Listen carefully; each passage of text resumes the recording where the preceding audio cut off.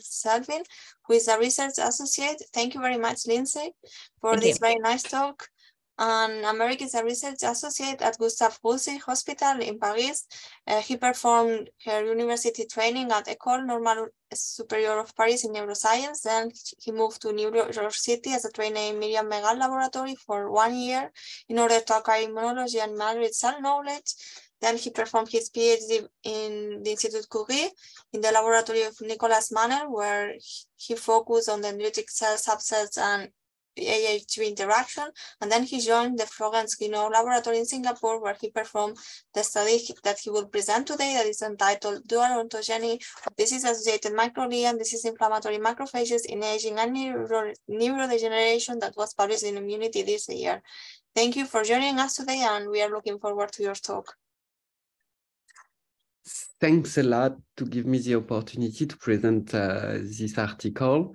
So um, just to uh, to um, give you uh, an introduction quickly about ontogeny. So uh, just before to start, ontogeny is uh, from where the cells uh, are coming from, and we have to be very careful between ontogeny and state, and to not um, misunderstand. A state is a state that um, any cell can acquire, but the ontogeny is something very rigid. And as uh, um, Lindsay uh, pre presented to you, microglia is coming from yolk sac, and this is the ontogeny of microglia. However, However, uh, macrophages uh, can come from uh, different origin.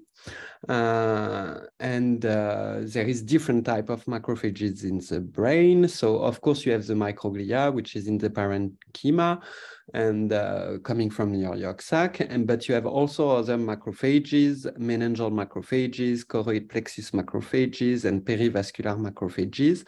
And these uh, three types of macrophages are uh, regrouped under the name of border-associated macrophages, the BAM. All of them were quite um, nicely uh, described by RNA-seq, and uh, people were able to identify specific signature for each of them. And uh, many other papers uh, were published describing many other subsets of microglia uh, and macrophages. So for example, you, uh, you have the famous disease-associated microglia, the DAM, um, um, showed by uh, Keren-Shaul, the dark microglia, the lipid droplet accumulating microglia, the proliferative associated microglia, the CD11C positive microglia, and you can go on and go on.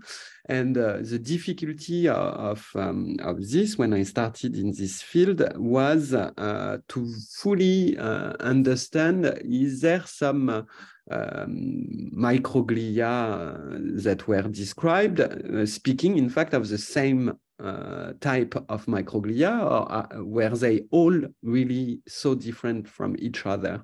So the goal was to find a consensus and to uh, to to in reality to to build a map of macrophages in the brain. And um, Right now, uh, as you know, since uh, 10 years, single-cell RNA-seq has been uh, uh, highly uh, used by every scientist. Many studies were published using different type of technology for single-cell RNA-seq, but we wanted to build a global map uh, where everyone could rely on it and could check if what they were looking were common to another study, to another type already described to add up function to these cells. So for that, we used um, we used uh, technology. So of course, we generated our own single cell RNA-seq uh, in the laboratory, uh, but we also retrieved, published single cell RNA-seq, and we use a technique which is integration uh, that allows to uh, integrate multiple data sets together in order to build a map. So just to be clear, when you do that, you ask your algorithm to find the similarities between each data set. So of course, like um, in this case, it was my study, so it was not uh, such a big deal. But if you do it with patients, for example, you ask the algorithm to find what is common between all your patients. So of course, you will not visualize the differences between patients that because of course everyone is different so there is differences but this integration will not focus on that. So be careful you need to ask properly your question and to know why you use the algorithm. Uh, every algorithm is good.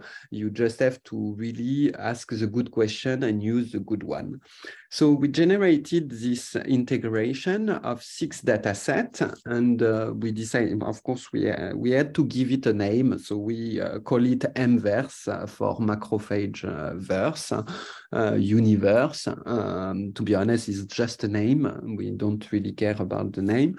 And um, as you can see, these six data sets were integrated together and what uh, the amazing thing with integration is that you can build the perfect experiment because as you know uh, most of the lab doesn't have funding uh, that can go uh, forever uh, for unlimited funding for one project. So uh, you cannot build the perfect experiment meaning you cannot sequence microglia from um, embryonic time points until mice that are super old plus Alzheimer mice, plus different part of the brain.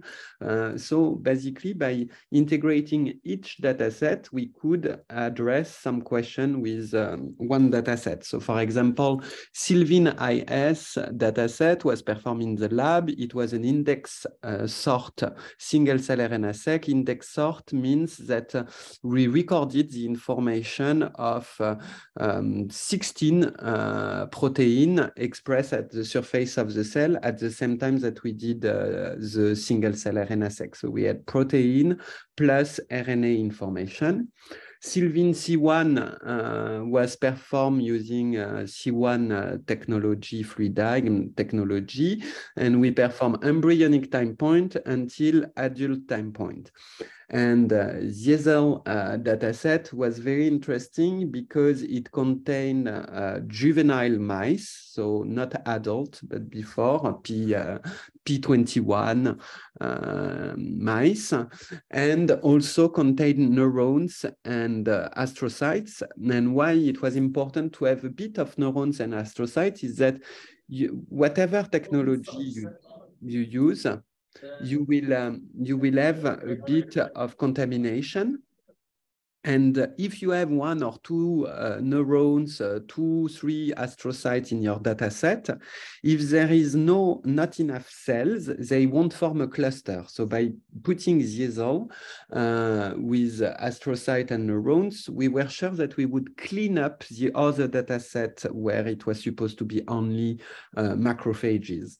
Uh, finally, Hammond was a dataset uh, containing embryonic time point until very old mice, aged mice, one year old or even more, uh, one year and a half.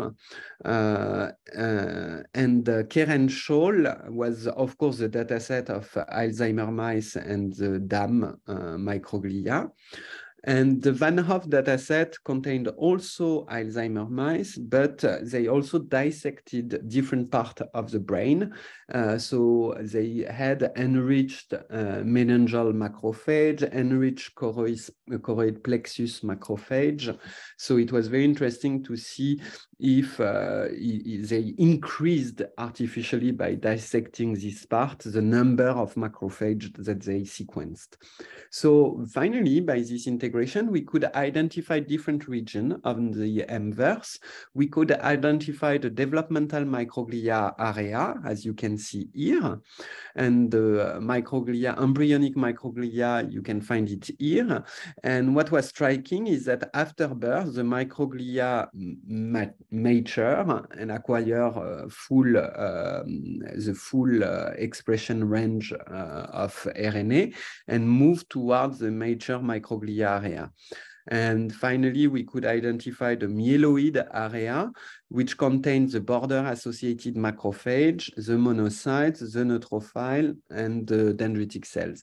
And finally, an area that contains neurons and um, astrocyte and one uh, T cells and NK cell we decided to focus us on the microglia and myeloid cells And um, as I told you before, Keren-Shaul published uh, the, uh, the article about the disease-associated uh, microglia and gave a signature for these uh, cells. They uh, stated that they were TREM2 dependent and, um, and uh, whatever, many other papers that were published after were discussing the fact that maybe they were not so protective, that in some case they would be, uh, um, they would worsen the disease. And, um, and I was very concerned about all this data. So I decided to take uh, the signature published by Keren-Shaul and to apply it on the Keren-Shaul dataset uh, with the MVerse uh, coordinate.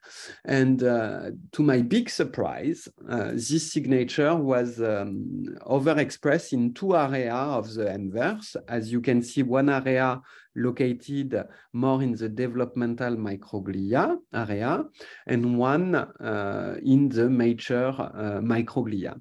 What was striking and what was strange is that here we, it was only mice with Alzheimer, one-year-old mice. So we were very surprised to see cells in the developmental area.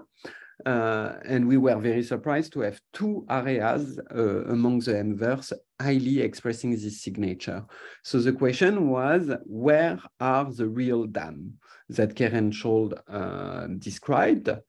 And for that, what we did is that we look, uh, since Keren-Shaul uh, stated they are TREM2 dependent, we uh, checked if uh, both of these areas were TREM2 dependent. Um, so for that, we look at the Alzheimer mice TREM2 knockout and the TREM2 knockout mice.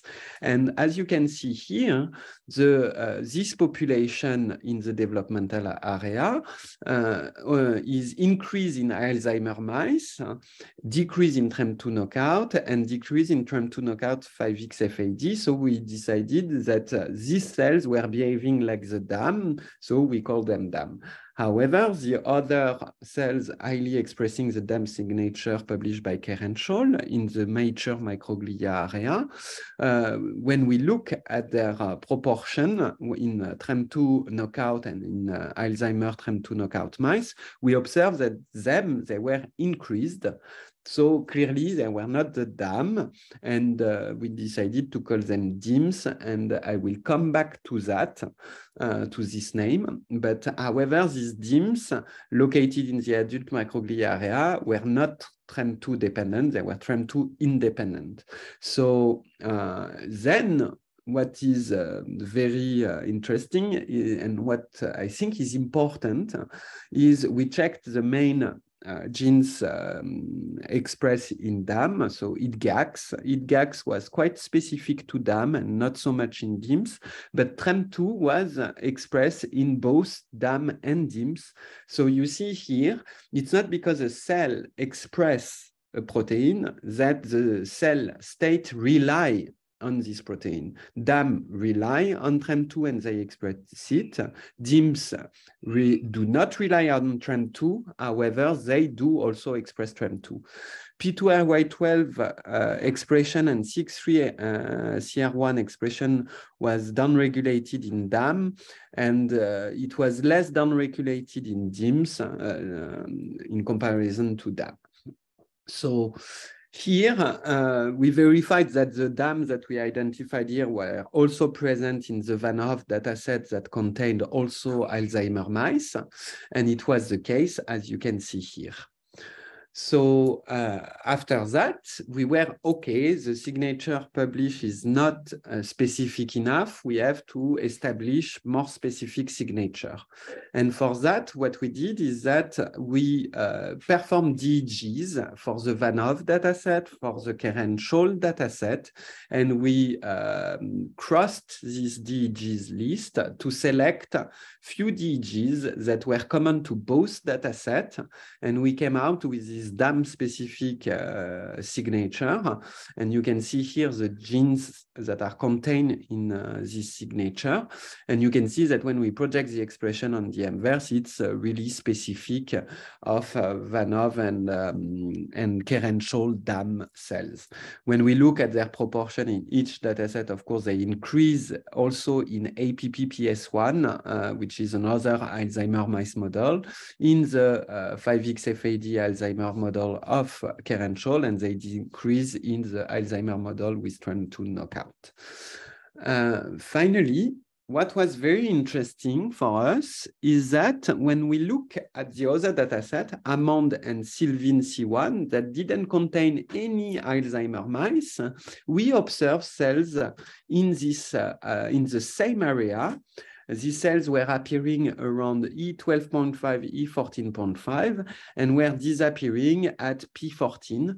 So it seems that what um, Keren-Shaul called disease-associated microglia is a program that is regularly used during embryogenesis by some of the microglia appearing in the brain around E12.5, and uh, this program will disappear after 14 days after birth.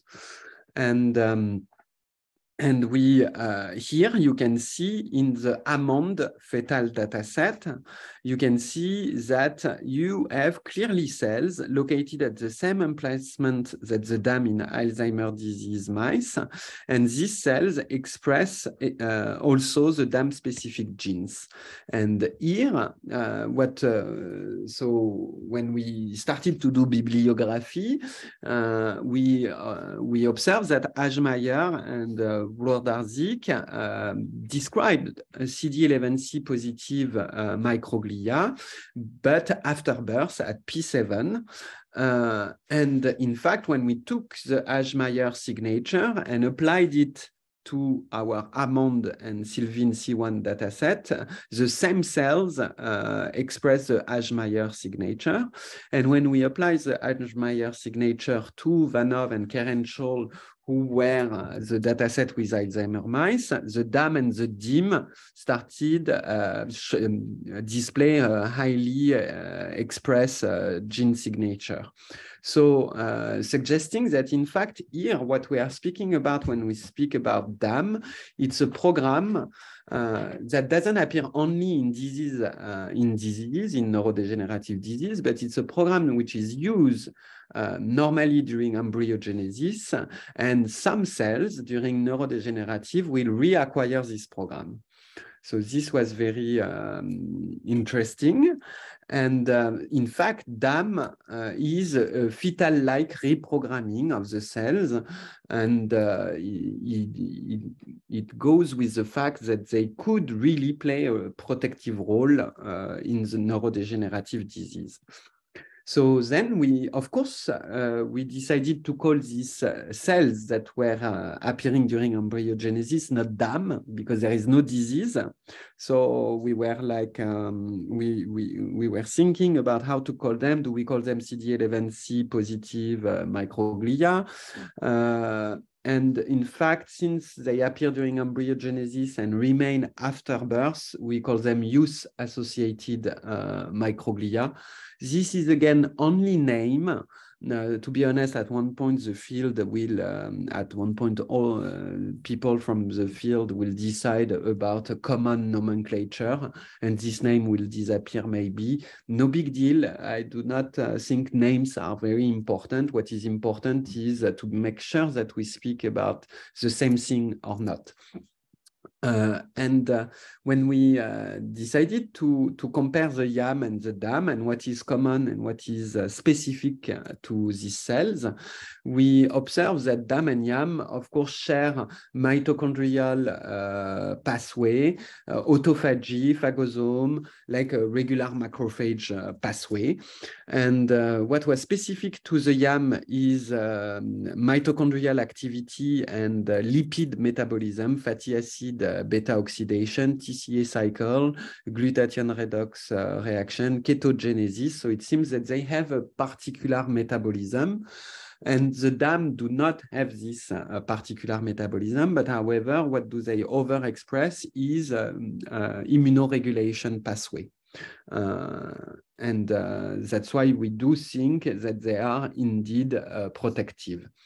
Uh, and uh, when uh, we decided, of course, to focus on the other population, the DIMS, and when we look at the DIMS, what was uh, very nice is that we could find them in Hammond dataset, very old mice, Keren-Shaul in Alzheimer mice, and also in Van Hove dataset, um, Alzheimer mice.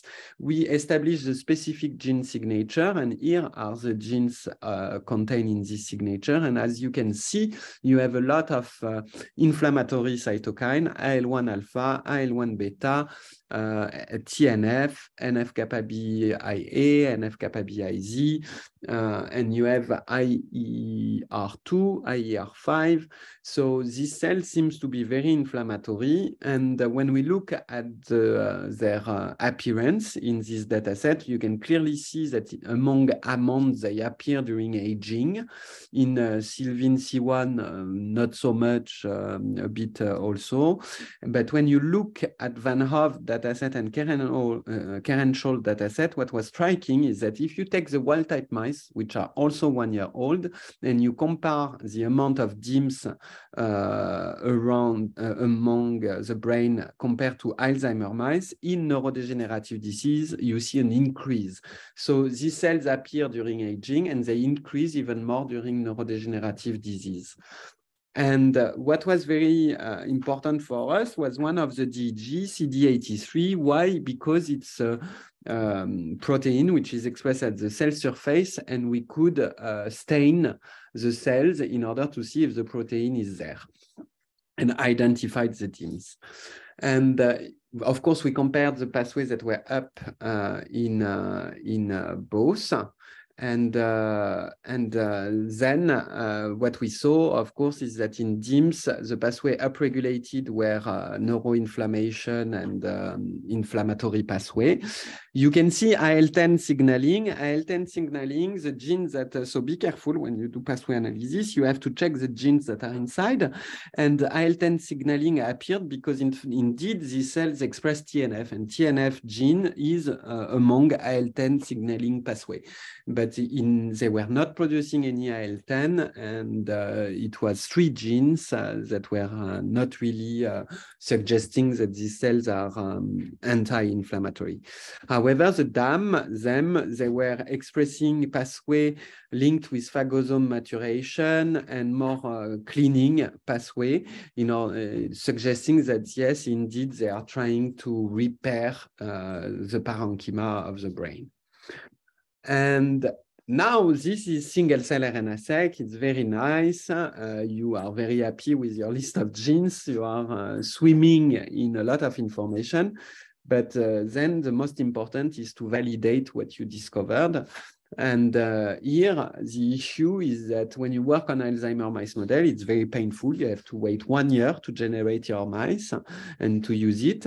Uh, so I did a quick and dirty experiment, meaning I irradiated the mice and I did a bone marrow transfer with the MS4A3 Cre Rosa Tomato bone marrow.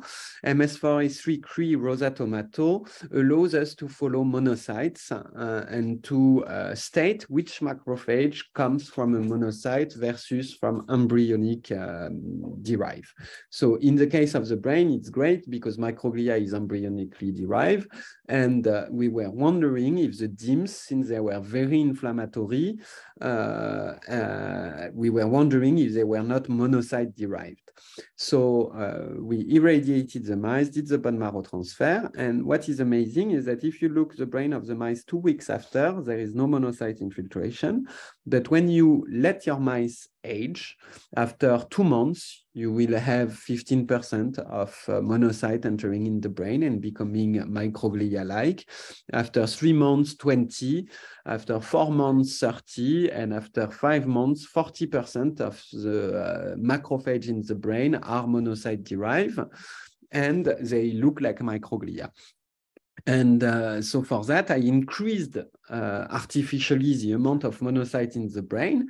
In order for me to sort them, the macrophage-derived, uh, monocyte-derived macrophage. And here you can see the gating strategy, and we added CD83 in order to see if cells were expressing CD83. And uh, you uh, could observe that um, regular microglia do not express CD83, and among the CD83 positive cells, we had two type of cells, the one that were monocyte derived, MS4A3 positive cells, and the one that were not monocyte derived, MS4A3 negative cells. We sorted the three population, the regular microglia, the CD83 pose MS4A3 neg, and the CD83 pose MS4A3 pose, and we performed bulk RNA-seq.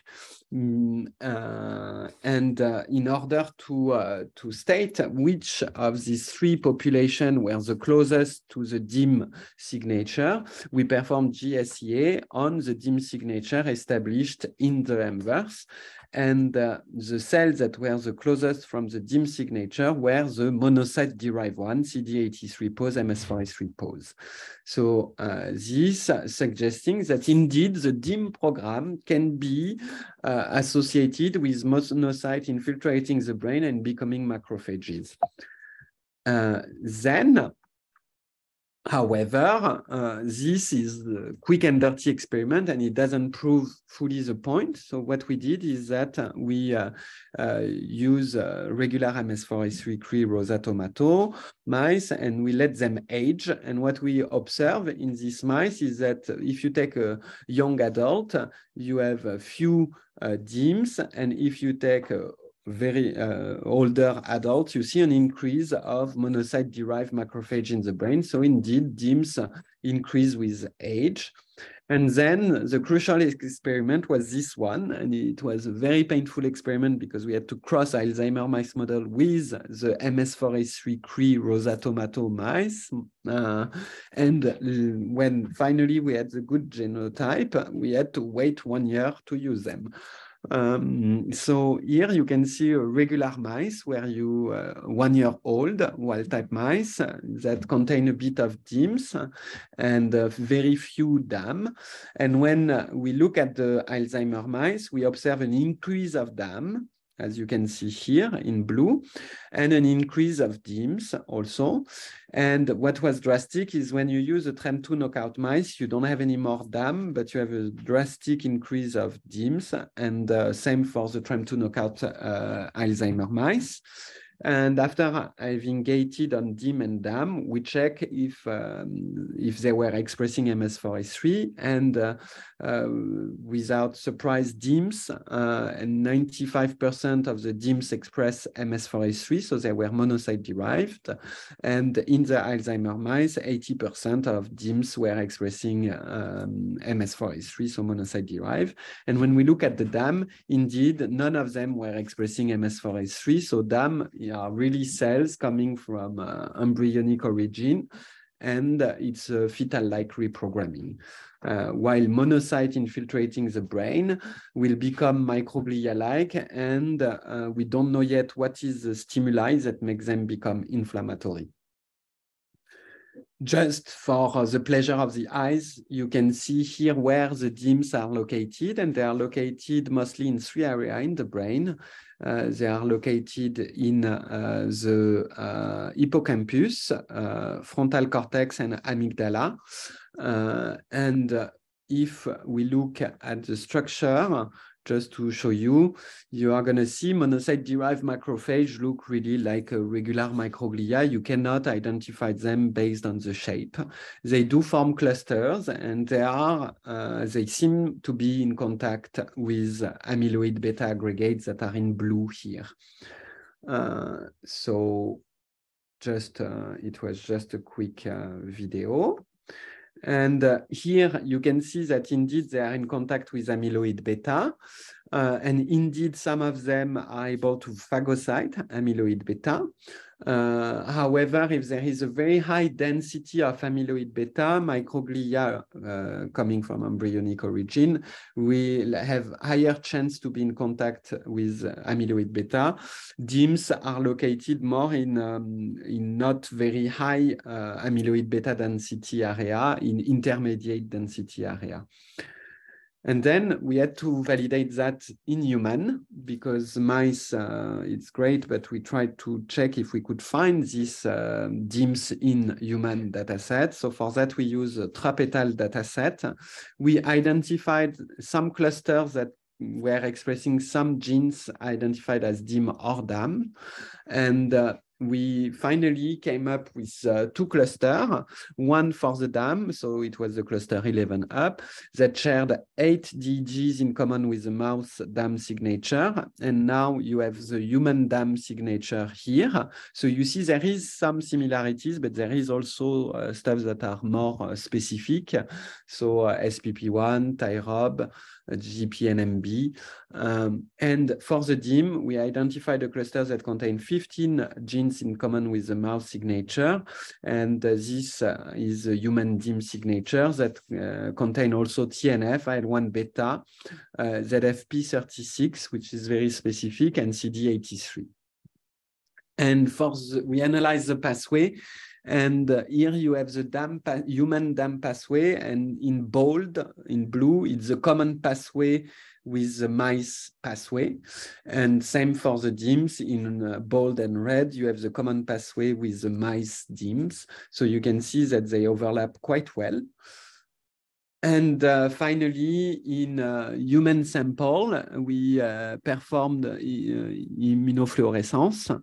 Uh, and here you can see non-Alzheimer uh, leptomeninges and Alzheimer leptomeninges. So what is uh, very striking and that I didn't know, uh, for example, is that in human, amyloid beta is uh, highly dense around blood vessel, when in the mice you don't have this uh, phenotype of amyloid beta aggregates, in human you can very really see a high deposit of amyloid beta around blood vessel. And that's why uh, we observe TNF uh, positive cells expressing also CD83 and P2RY12 at this uh, area around blood vessels with amyloid beta. Uh, and these cells were uh, drastically increased in Alzheimer uh, leptomeninges brain compared to non-Alzheimer. And these cells also express AXL. So suggesting that indeed DIMS are also in human brain and they, are, they would be enriched at the level of the leptomeninges. So to conclude, uh, this uh, work. We uh, so um, just to to to to remind you, microglia come from a Yolk-Sac progenitor. At one point, there will be the appearance of youth-associated microglia or CD11C positive microglia, and they will disappear. So at the end, in a healthy brain, you should have mostly just microglia uh, and border-associated macrophage. But in aging and neurodegenerative disease, what will happen is that you will still have uh, regular microglia. You will have activated microglia, and this has to be further studied.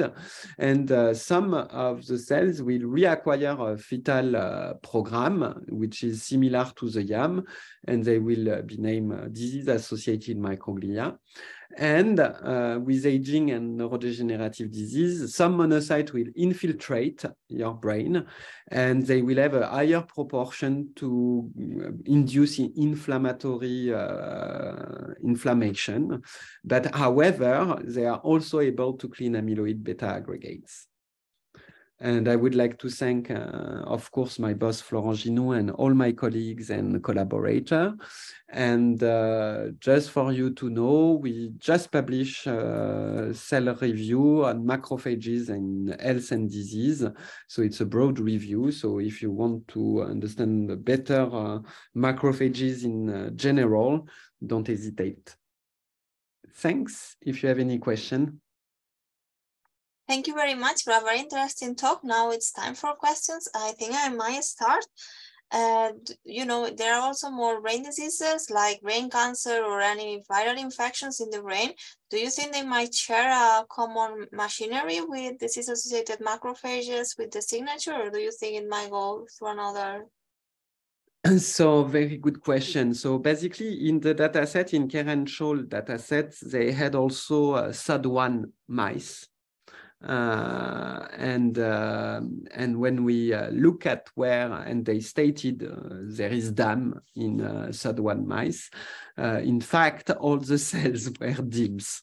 So and there was very few DAM. So it's where like I do think that inflammation is happening in a lot of disease. I do think um, SOD1 mice, uh, which are uh, multiple sclerosis uh, mice model, which is an inflammatory disease, is indeed the, the CNS is infiltrated with monocyte. We know it very well, and they have this proportion to induce inflammation. Uh, what we do not understand is the border, is the um, blood-brain border. I do think the crucial point that uh, we are going to have to to study uh, very deeply is uh, is the blood-brain barrier uh, so uh, impermeable, and does it open sometime, close, uh, and how this is regulated? Because I do think that in this type of disease, multiple sclerosis, the BBB is the key if it opens and you have monocyte derived macrophage there, they can be reactivated and induce inflammation. So you have a burst of inflammation, resorption, and then maybe uh, the BBB close uh, back and then it reopens. But we do not have good tools right now uh, to study really uh, deeply the BBB. Okay, thank you very much. We have a question from Michael Schultz. You will ask five. Hi. Thanks, Hi. Anna. Thanks, Aymeric, for the for your great talk. Um, um, I would like to ask you to comment on the labeling efficiency um, of the MS4 um, yeah. uh, uh, yeah. line within the, uh, especially in the BAM population. And is there, or did you saw anything like any contribution of BAMs directly to your dim pool i mean this obviously is like uh, i yeah. think one of the the yeah. the most interesting question um, out of yeah. the of, out of your study you know because yeah. i think so, it, i mean just recently also there came so many papers now like showing more and more functions mm. and rows of BAMs BAM. or however you will call them and i think this is like really interesting also for especially of course other other conditions affecting the brain yeah so uh, so the MS4A3 uh, rosa tomato mice label monocyte at 98, 99%. So it's very high. They do label also neutrophils, but uh, they can be very uh, easily excluded. And from now, neutrophils do not give rise to macrophage yet. So we are safe on that. And uh, for the BAM question, it's a great question. Uh, I uh, I do not I, I do think that monocytes that enter the brain will pass by the BAM state, and then if they enter in the parenchyma, they will become the DIMS. I couldn't prove it because I didn't have the CD206 Cre mice. We just mm. got it. uh, we just got it. So we hope to answer this question. We really hope to, to know if there is this intermediate state where the monocyte become more a BAM first, and then if there is a signal inside the parenchyma, they enter and uh, in fact, uh, the DIMS would be uh, inflammatory BAM inside the parenchyma but I cannot answer to you yet. I don't know. Sadly, I, I didn't have the mice. Uh, the mice was getting created, so now we have it. Yeah, yeah, yeah. Cool. Looking forward. So sorry. And what was the what was the um, efficiency? The the labeling in in in BAMs specifically in, ah, by so using the, the MS. So, yeah, the, so the MS4 Yeah, so the BAM uh, in the paper there is a, there is a, sub panel somewhere. Uh, we uh, so if you take a two months old adult, you see that uh, meningeal MAC, uh, so the meningeal one, the MHC2 pose, let's say, uh, have a 20% contribution from monocytes, and the perivascular one have much less three, 4%. Okay. With aging, what is going to happen is that this proportion increase in both. Yeah, but yeah, the yeah. meningeal one will always be higher than the perivascular one. The MHC2 neg uh, will have less monocyte contribution compared to the MHC2 pose. And however, both of them will have more uh, monocyte, uh, monocyte contribution higher than microglia. No. Okay? okay? But yes, they are replaced by monocyte with time. And I do think like they can contribute to inflammation because monocytes it's uh, their main role to answer as soon as they are uh, uh, stimulated. And uh, sadly the brain is not the good place. It's not the place where you want strong inflammation. No no that's true. That's true. Yeah. Thank you. And now we have a question from Celine Du. Uh, hello um, no. great talk uh, I'm actually a student from Dr. Kipnis' lab, uh, who also contribute to this paper, but I wasn't involved in this project. And I, I was using the MS4A myself from your group. It's super efficient and uh, very nice. Um, I have a question. I'm wondering about your comments of um, people who have done parabiotic study on 5FAD and mm. uh, reporter mice but didn't see blood infiltration or blood-derived cells contribution into the microglia pool um, mm. in various models, including 5FAD. Um, mm. What do you think uh, of so, uh, the yeah. sources of those cells? So there is different parameters. So when I joined the lab of Florent Ginhoux, everyone was doing Percoll you know, to, to harvest the macrophages, these uh, layers of Percoll. And uh, the issue is that the Percoll select the cells based on their density. And a cell that eats a lot of different material and lipids uh, will not have the same density than a regular homeostatic microglia not eating uh, as much amyloid beta. So you have technical uh, reason. And me, in my study, what I did is that I perform uh, CD11B microbead selection using the AutoMACS. So I'm sure that I'm selecting all the CD11B expressing cells no matter if they are eating like kg of uh, lipids, I select them and I, it's where I started to see the heterogeneity of macrophage and I move out of the Percoll because clearly I was losing the heterogeneity. So this could be the reason.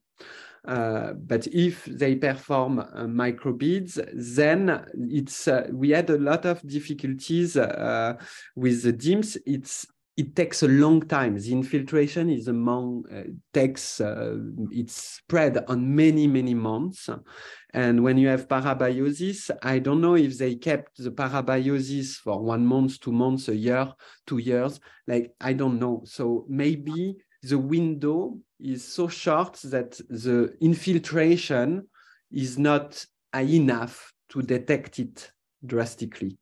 You see? Yeah, I see. You think um, uh, maybe it's loose during the isolation or um, the parabiotic efficiency wasn't uh, great enough. Yeah, or you, you parabiose your mice when they are two months old and you keep them parabiosed one year, one year and a half. And then you, you then if you tell me there is no infiltration, uh, then I would be very, uh, very disappointed. yeah, I, I wasn't doing that. I was just checking the literature. I think yeah. people was doing that, like with 5FAD and uh, UBC, mm. GFP, parabiotic. Yeah. yeah, was a bit confused. And also, like our lab recently was starting um, uh, scalpel marrow as another source. So like yeah uh, so this the bone marrow the bone marrow like we we don't know if it's the bone marrow of the leg it could be clearly the skull huh?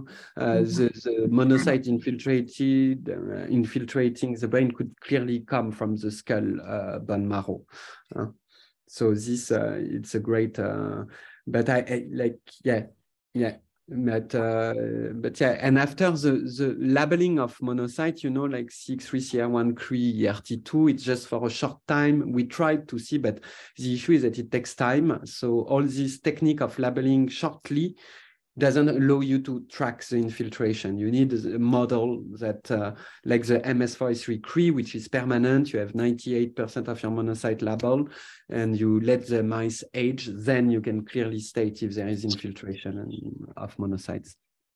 I see. Okay, yeah, thank you. And thank you. Great, I think now there will be a question from Lindsay.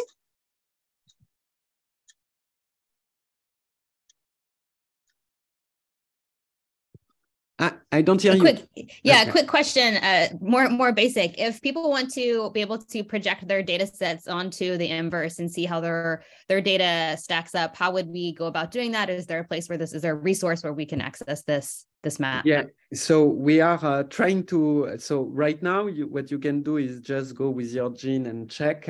But we want to to create the uh, the one where uh, because the, mverse was created with the previous version of Seurat that didn't allow to project and uh, and uh, sadly the reviewing took time and, uh, and the publishing took time. It took two years.